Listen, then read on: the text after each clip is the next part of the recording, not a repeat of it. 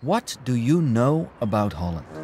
Flowers, windmills, picturesque canals, cheese, wooden shoes, master paintings from the Golden Age. Yes, yes, we have it all. but Let me show you what's really cool about Holland.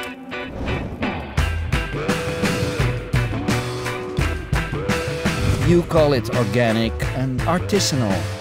We just call it food. You call it boutique, independent, alternative. We call it the Nine Streets. You call it exercise. We call it a way of life. They still drive cars! Dutch! By the way, did you notice I'm speaking English?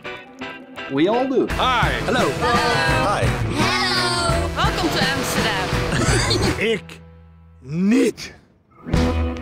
Jullie noemen hem Van Gogh. Wij zeggen Van Gogh. Did someone say Van Gogh? You call it art. We call it the Rijksmuseum. Dutch! You call it green energy. We call it tradition. You call it